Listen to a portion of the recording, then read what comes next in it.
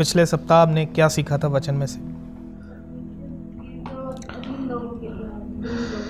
परमेश्वर दीन और गरीब लोगों के लिए आया। इसका मतलब ये बिल्कुल नहीं है कि धनियों में से कोई भी स्वर्ग के राज्य में नहीं जाने पाएगा। मैं क्लियर करना चाहता हूँ ये बातें, क्योंकि इंटरनेट पर कुछ लोग सवाल पूछ रहे थे कि क्या सिर्फ़ गरीब लोगों के लिए ही आया? प्रभु सबके लिए आया है। धनी का प्रवेश करना कठिन बताया गया है। है ना? धन ऐसा नहीं कि जाएगा नहीं। धनी भी परमेश्वर के राज्य में जाएँगे जिनका मन अपने धन संपत्ति पर नहीं है। ऐसे लोग परमेश्वर के राज्य में जाएँगे चाहे वो धनी भी क्यों ना हो। है ना? तो वहाँ पर हम पढ़ते हैं नौजवान एक आता है और प्रभु से कहता है कि मैं अनंत जीवन पाने के लिए क्या करूँ? वो कहता है प्रभु कहता है कि यही के आज्ञाएँ मान, ये आज्ञाएँ मानेंगे तो अनंत जीवन मिलेगा। आज्ञाएँ नहीं मानेंगे तो अनंत जीवन हमें नहीं मिलेगा। समझ आ रहा? फिर वो कहता, ये तो मैं लड़कपन से मानता आया हूँ, बचपन से मानता आया हूँ, फिर किस बात की घटी है?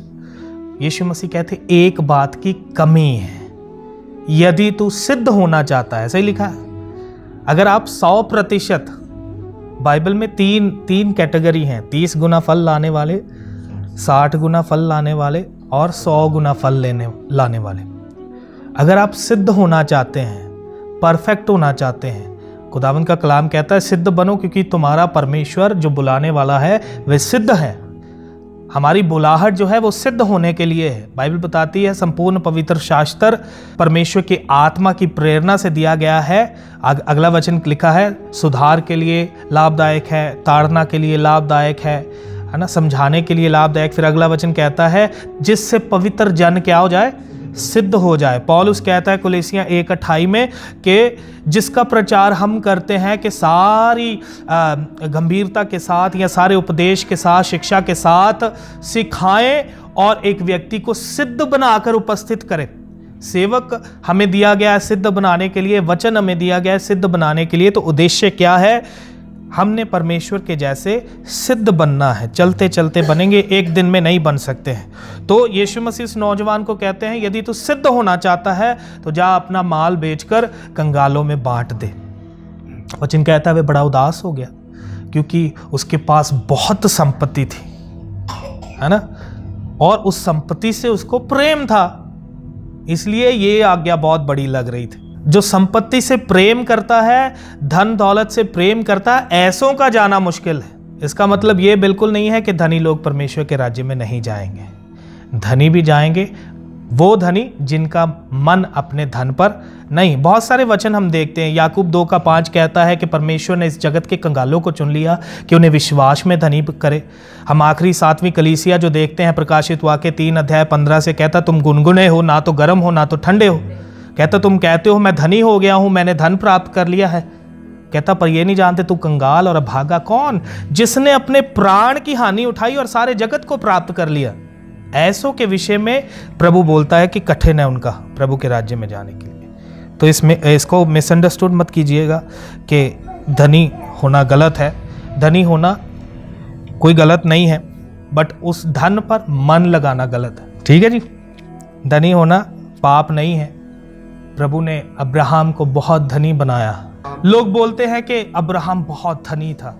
उधर ध्यान से पढ़े, नए नियम में पढ़े, पुराने नियम में भी पढ़े, अब्राहम के बारे में लिखा क्या है? बाइबल बताती है, वायदे किए देश में भी तंबुओं में रहता था।